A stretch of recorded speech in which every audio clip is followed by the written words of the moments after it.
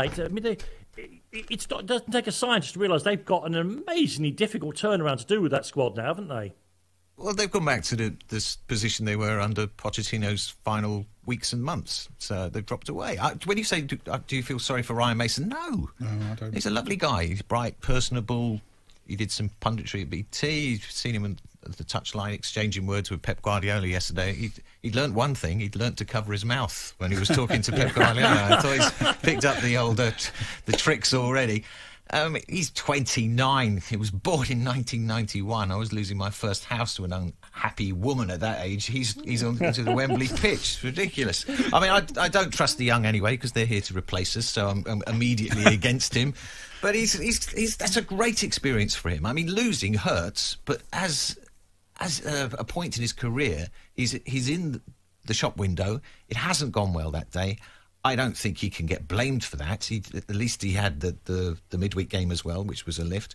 So I, I don't know whether I think he's a caretaker manager till the end of the season, sure. but the experience will be fantastic for him, and then we'll see who comes up next. But I still think it is it was crazy to get rid of Jose Mourinho for this particular game because he would have been the expert coach for this in stopping Manchester City, which is mm. all you can do. If you try and take them on, you have to play, play extremely well. Manchester United seems to be a, a, a bogey team for it at the moment because they sit and then break on the counter attack. Mourinho's perfect at that kind of game. So I thought it was a little bit crazy. Why didn't you, you want Mourinho? Why didn't yeah. you want Mourinho there? In the sense that you know there seemed to be a feeling that oh it'll be embarrassing if Mourinho wins the trophy, then we then we have to sack him, and also that Mourinho would you know make great play of it. I won you a trophy and you still sacked me and all that. But so what? Did it? Did You're that really me? Man- yeah, yeah. Because I, yeah. you did admit to me that you were happier that Ryan Mason was the man who lost the trophy than you would have been. yeah. So yeah, why though? Why not just want to win the trophy? Because I'm, I'm a fan, aren't I? Rather than in this particular case, a pundit. Um, and I said at the start of this, I wanted somebody um, you know, at 17 months ago on Talk Sport, the day he was appointed, and when I was actually in tears, to be fair, um, I, I, cried on air. Um, Jamie O'Hara was shouting at me, I can't have that. Um, I, am wow. happy to admit it, I'm, I'm, I'm, not afraid of my feelings. Um, and I, I, I, you know, I want somebody who I can be proud of, somebody who isn't, to me, bordering on sociopathic in charge of the football club.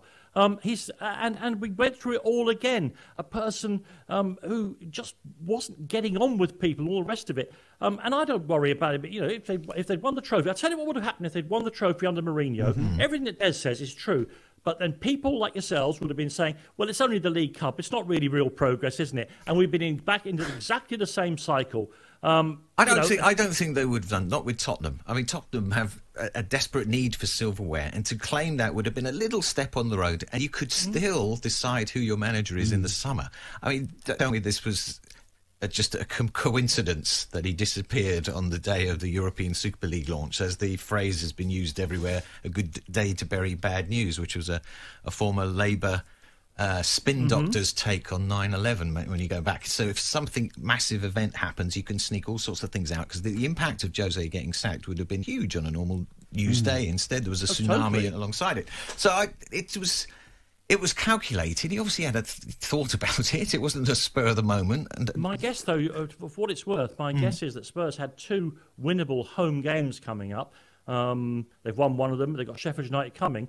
I think that, uh, from what I understand, Mourinho's payoff becomes increasingly huge depending on where he is in the league when you pay him off. And, and, danger, and, and I'm sure there's a trophy bonus as well, but hey. Yeah, and there was a danger of, of Spurs not being seventh when they did it, which is probably as low as they're going to go this season. I mean, Daniel Levy is a lot of things, um, but uh, unruthless is not one of those. If that's not too Radio Four a construction, um, unruthless. But I don't understand yeah. why you wouldn't want to win a trophy. I, I still don't I get that. I've told you many times yeah, I that did. I don't care who would have been in charge of Newcastle or whatever, whatever the circumstances, to win a trophy when I've never seen them win a domestic trophy in my life. I wouldn't have cared, and yet you're saying, "Oh well, good. I'm glad they sacked Mourinho and yeah, but, didn't win. But, uh, I, I, I, don't get it. I really don't get it. I'm not sure I share everyone's confidence that uh, they would have had a much better chance with Mourinho. I think, yeah, I, I don't, I don't. I mean, uh, better, yes. Uh, quantifying much better, different mm. story. Sure, well, of course, you, I want if, them to if win. you don't like him because he's a defensive coach, that gives you an indication of his strength. So he's he sets up a team very well. Mm. I don't think anyone could do, to argue. Well, he would have done it better than Spurs this weekend, I think. Yeah. Well, I, I'm not sure. I mean, they lost 1 0, you know, that, that, that, and they, they survived Yeah. for 80 minutes. Now, Yeah. of course, that's a combination of a, goal, a, a goalkeeper in fine form and, let's be fair, an absolute wheelbarrow full of luck. Mm-hmm. Um, if you can say you're lucky to be on the back foot for 80 minutes of a game, Yeah. then they definitely were. You're listening uh, to the press, bo- uh, to the press box. Uh, Sean.